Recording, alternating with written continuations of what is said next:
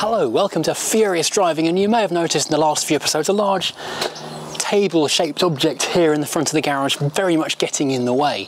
And I thought it's probably about time that I actually cleared this table and looked at what was underneath all of the mess, basically, the scrap metal which is waiting to go off to the uh, recycling place and weigh in for a bit of cash, and have a look at getting this car started because it's been far too long. And after the last attempts to make it go, James from Nitro Silvia came around and we couldn't get the thing to fire. It was cranking over really well, just wasn't firing. And everyone keeps asking me, why didn't it work? And well, I think I've finally figured it out. I'm going to clear up this mess and uh, yeah, hopefully maybe see a fire maybe not a start, maybe just a spark from a plug and a, a boom and a bang and a way, who knows. Let's get busy.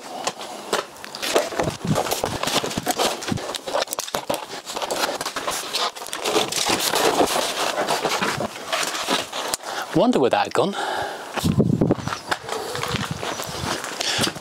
Right, the scrap metal can stay there for a while. It's actually quite a lot of it. We've got the shock absorbers from the Crown Vic, we've got brake calipers from the Vic and the Rover, and we've got bits of my actual front door as well when the lock broke the other day. So yeah, it's been interesting selection of scrap metal. Oh, some taps we had to change. So that all needs to go off and get weighed in as soon as possible. It can live there until I get to the point of getting underneath the car. And by the way, I hope you're enjoying the sartorial elegance of the 1990s flared cords, which were many years ago actually quite cool yeah, I've left my uh, nice Dickies work trousers up at the barn, so now working in basically old decorating clothes. Now, last time when we tried to crank this over with James here, it was cranking very easily, and a few people did actually comment, it sounds like you've not got any compression. And these are people who I guess know more about what they're talking about than I do. And at first I was like, well, that's mental. Everything's working fine. The valves are good, the rockers are turning as they should. There's no reason for it not to have compression. It surely must be just not fuel coming through. Anyway, I thought I'd go and double check that so I went and got myself a compression tester which is here on the engine and this result you can see just here on the screen now is the result I got when I cranked the thing over. Knowing now that we've got zero compression on this thing, um, that asks the question, why is there zero compression? That's probably a bad thing. Cars do need at least some compression on one or two cylinders to, to run even just a little bit. So we'll put the compression tester to one side and go and fetch the next tool, the Wi-Fi endoscope. We've got all the proby tools in this channel. We had the big extendy alien probe thing last week. Now we've got the camera on a stick. And this thing, which actually has a little screw-on mirror so you can look like a periscope up inside things, guess what it found? The valves aren't shutting completely. Little tiny gap between the valve and the cylinder head. That means no compression guess what? You guys are right. Sorry, I shouldn't have called you all the names I called you for being clever clogses. Which means I didn't do something right. And it was a really simple thing I didn't do right because there was an extra bit of this engine which I lost. And it took me a while to figure out where it had gone. And eventually I found it on the uh, desk. I mean, I can't believe looking around this garage, anything would go missing. How can it possibly be an untidy mess where you can't find stuff? I'm now looking at the engine bay, looking at the rocker cover, wondering what I did with the rocker cover screws. I hold that back on again.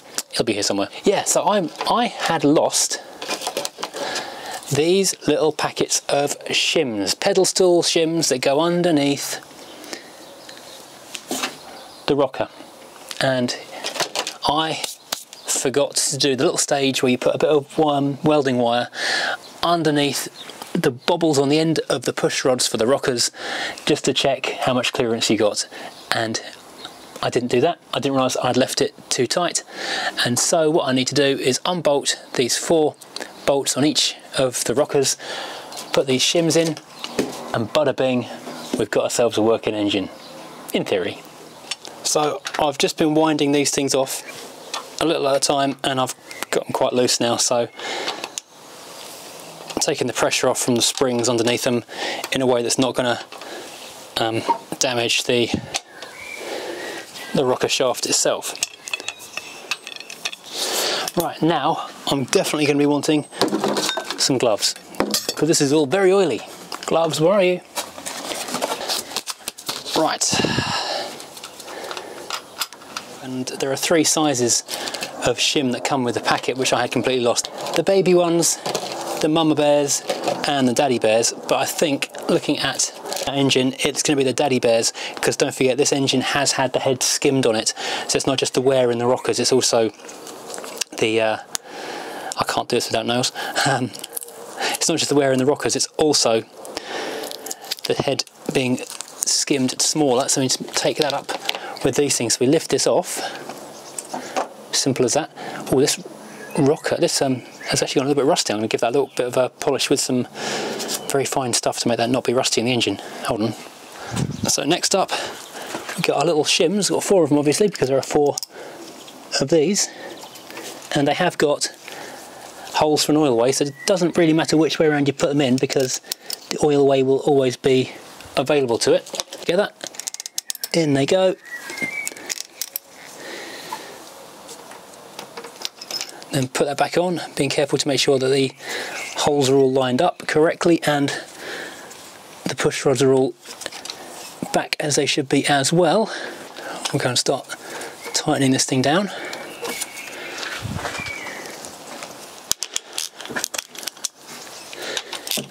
Oops. And as you do, make sure the oil way is definitely 100% clear. Now you've got to torque this up to 3, then to 8 newton meters. I don't have a torque wrench that goes down to 3, so I'm starting at 5, which is finger tight, less than finger tight by the feel of it. Wow.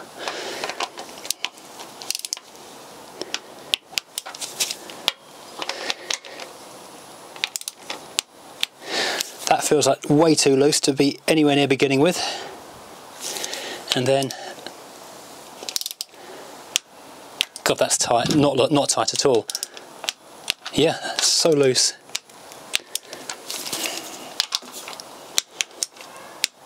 Wow, done. That does not feel anywhere near tight enough. Right, so now got the Wi-Fi endoscope running again. Let's have a look up inside and see if we've got closed cylinders or not. Make sure it's screwed on properly. Don't want to be dropping that inside the cylinder head. Well, it's kind of hard to see, but I think they're closed, so we'll go for it and do the other side as well. Right, let's do the other side as well. Hopefully this will all be good. And we'll crank this over by hand in a minute, make sure nothing's making horrible clunky noises. And then we'll all be good to go. it is reassuringly oily as I'm undoing these things and the little pedestals are lifting away from the cylinder head. It's reassuring how much clean, fresh oil is seeping out as well, which means that the oil ways are clear, oil is pumping, the engine probably won't lunge itself when I start it, if I start it. Let's get my little shimmy things in there. This is going easily enough that I'm very concerned that this is completely wrong. Right, so in we go with our five.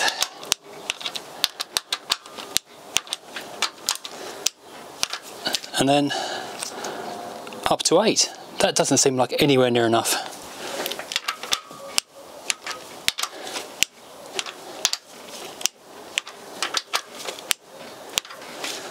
Let's try and give this thing a turn.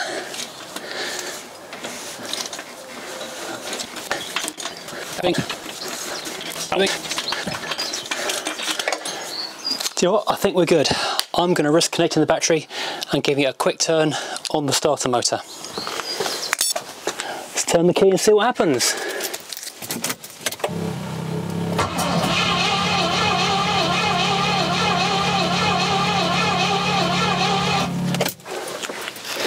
Well, I didn't hear any horrible noises, so I want to call that good.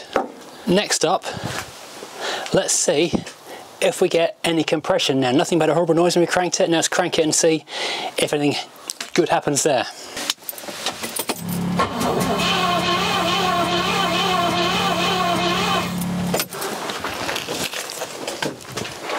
Yes, we have got to about 70 psi. That is a good thing. Fantastic. We've got compression on this engine, which means chances are it'll start. I'm going to uh, put the carburetors back on, reconnect all the spark plugs and leads, and see where we go from there. Fingers firmly crossed. Just trying to remember how all of this goes back together again, because oh my god, it's a jigsaw that is no fun. Uh, this all goes at the back, doesn't it? Which means that has to go that side.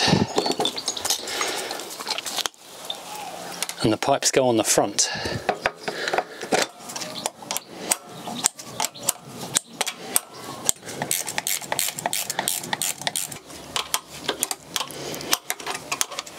That's all bolted on. Honestly, SU make it so difficult to do that. It's just unnecessarily tricky. Now I've got to remember how all of these little uh, things go together. Clip, clip. Clip, clip. Uh, now fuel lines. Right, sparkling plugs go back into the engine. Now the rocker covers, the engine is coming back together quite nicely.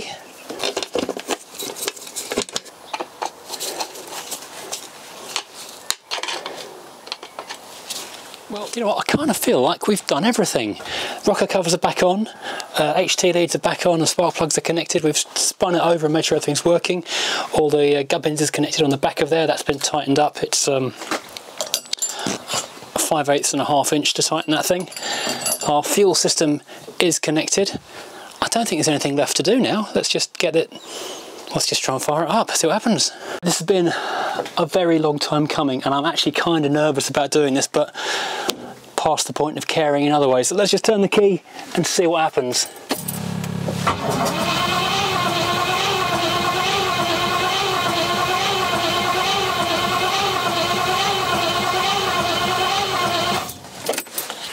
Okay, not much is happening yet.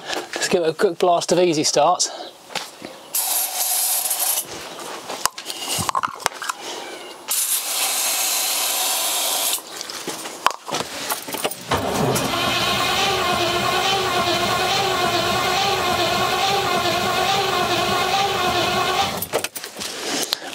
I cough that time. I'm to go and get a jump start pack to give it a bit of extra boost. It's a brand new battery, but I'm to give it some extra boost just to give it some oomph. Right, so I've got the jump pack hooked up again.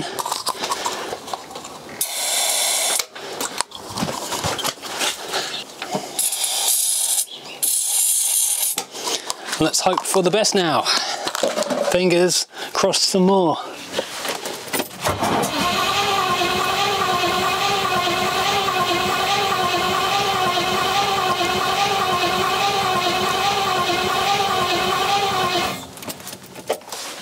Oh, why is it not firing?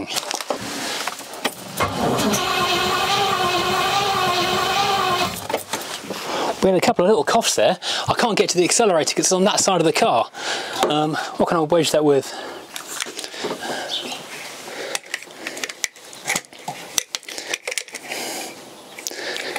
Yeah, plastic thing can hold the throttle open for me. Maybe that'll make a difference. It did cough a little tiny bit.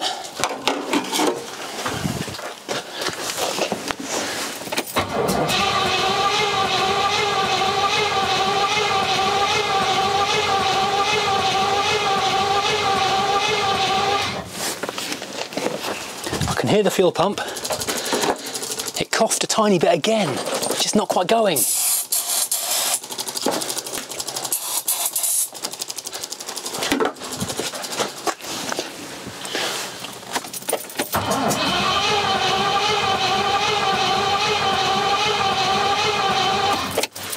Uh, it sounds like it's nearly going, but it's not quite. I don't know why.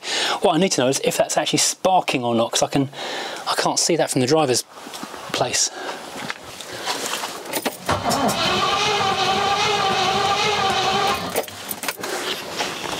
So that orange indicator thing flashes like there is a spark happening, which is positive, so we can only assume there is a spark. But I'm going to check that there's fuel coming through. I can definitely smell fuel. Hmm. That doesn't look like it's completely filling up with fuel. Ah, okay.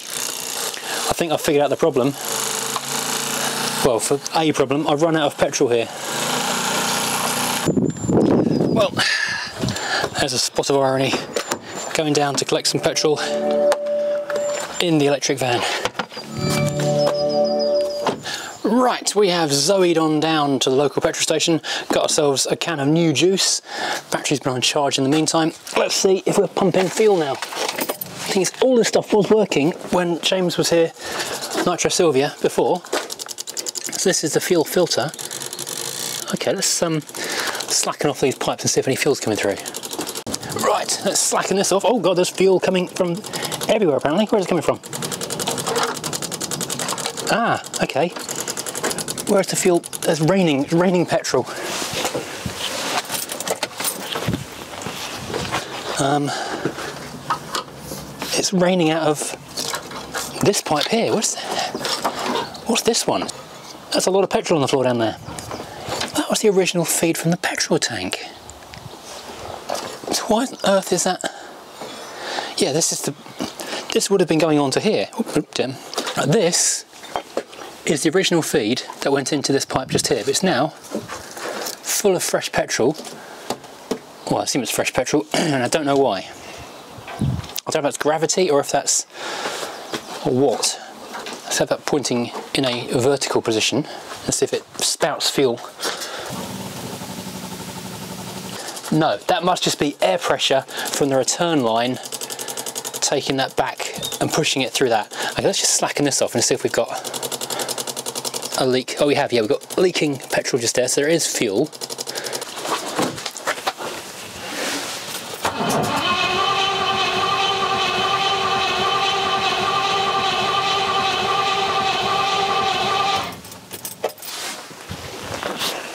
Confusing thing is, every time I crank it, I do hear that little fut fut fut, just like something is trying to do something, but it's not quite doing it.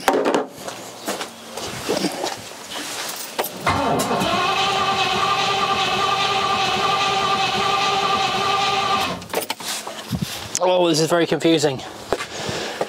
This has taken all the fun out of it, that's for sure. Yeah, that fuel line. That hard plastic, that definitely wants changing before I drive this newer. Mmm. Right, so in lieu of any better or indeed good ideas, I've put the original um, coil back on, or the original new coil, that's the original original coil, um, see if we get anything better off that. I can feel as far as the carburetors, I can smell something. Every time we crank it, there's a couple of fut at the beginning, then nothing else, which suggests something's happening, but then nothing else. Don't know what's going on.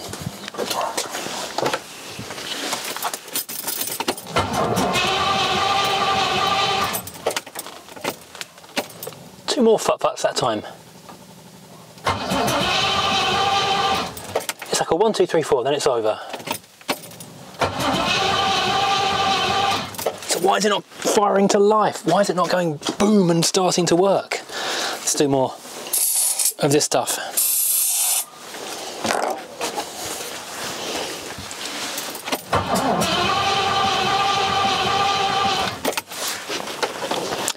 Timing thing, isn't it? It must be timing. That's the only thing left for it to be not right on. Oh, so annoying. There's fuel coming out of there. That means there's fuel getting into the carburetors. Let's try the other carburetor as well. Oh, yep, petrol coming out there as well.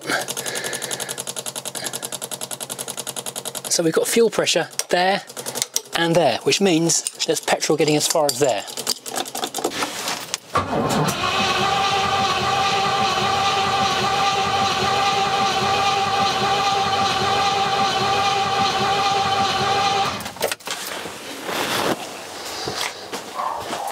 Honestly, I am confused. Everything was left set up so it would work last time uh, James was here. The timing was set up right, we've done everything else, we checked everything possible. I just don't know why it won't go. We've got a good earth just there. Oops. Do we need a second earth? Do we need, I think that's a second earth anyway. Do we need a third earth on it?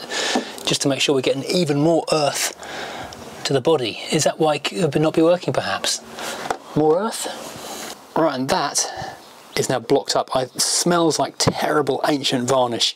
So I'm assuming it's old fuel from the tank or the lines that's being blown back by air pressure from the return line. I'm assuming there's a, yes, there is a return line. I can see that over there. I'm guessing it's air pressure into the tank blowing fuel out of this. So uh, even just walking back into the garage after a few minutes, the smell of ancient varnishy petrol is quite overpowering. So I'm assuming that's old fuel, not new fuel. Right, the only thing left to do now is to kind of go back to basics again. We left this thing last time with everything set up so it should have worked. We had good spark, the timing was right. the fueling was working, everything was as it should be, and now it's not. There is no reason for it not to start. But we're now at about 20 minutes in this video, which is kind of like as far as the video needs to go. So next time it's going to be back to basics, going to set the timing again. I don't know what else to do really, just set the timing. It's getting fuel, it's not getting a spark, I don't know what else to do. Let's give this one final go and just kind of cross our fingers for it. So we've got fuel pressure, you can hear the pump has slowed down. We know we're getting a spark, and if it's getting a spark it probably isn't about right position.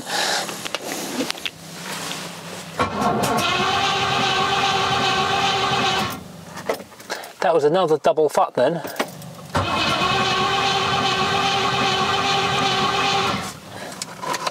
Oh, choke's not connected, I think. Maybe something's not connected on the...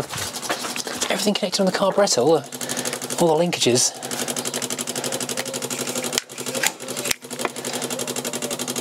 Choke, where's the choke doing? I've not got the choke connected. Where would you connect to? You connect to here and then you'd pull that like that, wouldn't you? Okay, so let's do both of those. Can I do both of those somehow? Let's chock both of these chock that one. And chock that as well somehow.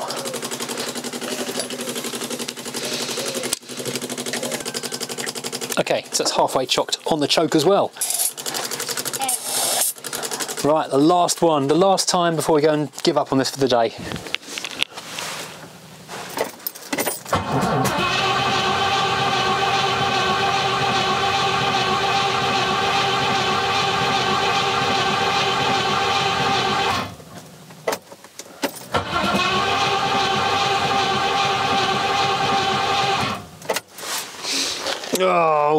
Stupid thing.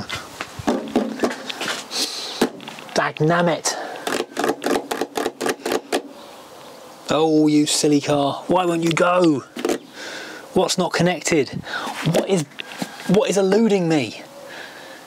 Why won't you start? This is very, very annoying. Well, this is interesting. I've just pulled this plug out and it doesn't smell of petrol, but it does smell of Easy Start, which is odd. Why would it not smell of petrol? Hmm, just going to give that a crank with no plug in there.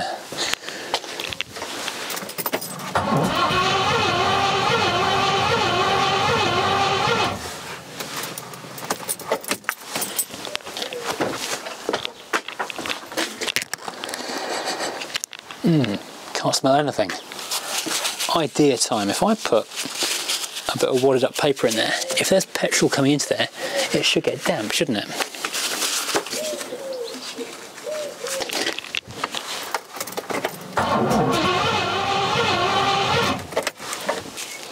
Well, it's blown out by the compression and it's bone dry. The petrol isn't going all the way from the start of the carburetors into there. Where's it stopping? Oh, man alive. Okay, I've got new investigations to do. Hmm. Now I'm confused. I'm more confused than I was before. There is petrol in there. There's petrol at the carburetors. Why is it not reaching the cylinders?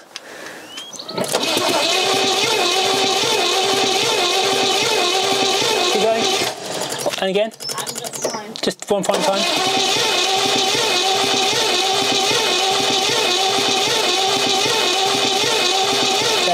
Thank you. Right, so with the help of an assistant, there is a spark I can see. It's not the strongest spark in the world, but it is a spark nonetheless. Ah, it's fuel delivery. That's all it can be. I need to go back to the drawing board and work out why fuel is not getting through doesn't make any sense. It really makes no sense at all. It's got to be fuel. It can only be a fueling issue. I just can't figure out why there's no fuel coming from here into there and into there. There's just no reason for it not to work. The carburetors are all clear and cleaned. We rebuilt them not long ago. I don't get it. I literally don't get it. At least one, even if I've gone really crazy with the mastic stuff, at least one cylinder will be getting petrol through. And then that one will be coughing. We wouldn't just get that one single cough at the beginning and then that's that. I don't get it. I literally don't get it. I can't smell petrol on the spark plugs. Two spark plugs I've taken out now. Neither one of them I can smell petrol on. And the uh, the blue paper test was a fail as well. I'm confused. I'm properly, properly confused here. Oh, one thing though, we've used a good half a can of petrol. Just gushed out of there and just vanished. So I don't know where the hell that's gone. Let's try a quick slop test.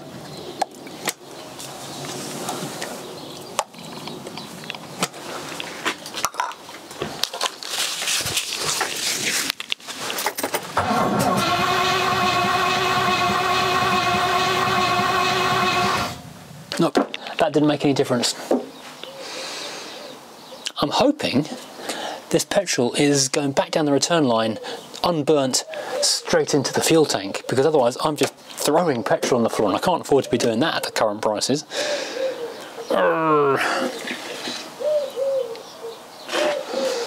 Okay, next episode, taking bits of the fuel system apart. What else can I do? So confusing so annoying and confusing. Right, okay, I might call this the end of the video at this point. I might come back in a few seconds time, so watch the runtime. If not, if I don't come back, then join me again next time when I have had some kind of breakthrough epiphany. Otherwise, see you again in a second. Uh, thank you for watching, and hopefully we'll have this thing running soon. Fingers very much crossed. Hmm. Okay, this thing has beaten me for the day. I'm going to call the video right now. I've had enough. I want to go have some tea, edit the video, bang my head against the wall and do some research online. I don't know what on earth is not happening. So thank you for joining me. I really am sorry. I thought this was going to be starting today and we'd actually be firing this thing up at last. Clearly we're not. Next time maybe, I don't know. I really hope so because it's now in a position where it really should be going. It just isn't. Why does this car hate me? This car hates me so much. Oh well, thank you for watching and um, yeah, if you've enjoyed this, like and subscribe. As always, if you want to see any of the tools, um, basic stuff like the pliers, clever stuff like compression tester and the endoscope, then head over to the link in the description below for my Amazon affiliate store where you can find all this stuff for sale online. And join me again next time and maybe we'll hear a V8 roar into life. You might not though, who knows. Thanks for watching.